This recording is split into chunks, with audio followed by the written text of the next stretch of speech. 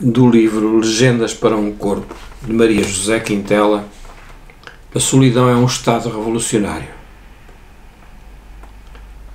Acordo sem horizonte e sem vontade de apurar a inércia. Deambulo sem contrarrelógio e assimilo o sabor acre das estações consumadas. Salto da véspera para o dia seguinte e do dia seguinte para a contradição. O que quer dizer não é o que digo, e o que digo falha ao alvo. De nada vale ensaiar metáforas na boca sem a rede. A letargia vai num estado avançado.